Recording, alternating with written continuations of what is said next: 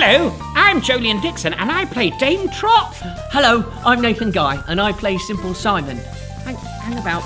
Why am I called Simple Simon? I'm not simple. Am no, I, no, no, right now, now, moving on, moving on. I'm really looking forward to coming back to Porthcawl this year because all the people down there are lovely and friendly. And hey, you're never that far from one of those lovely Welsh cakes, are you?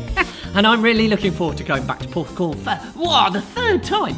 Uh, because I like making the children laugh and squirting them with loads of water. And also, maybe I'll get a cooch from one of the mums. oh, if you're a lucky boy, Hey. and I know you're a lucky boy. Right now, I hope you'll come down to Panto here at the Grand Pavilion Porthcawl. Yes, it's on from Friday the 9th to the 31st of December.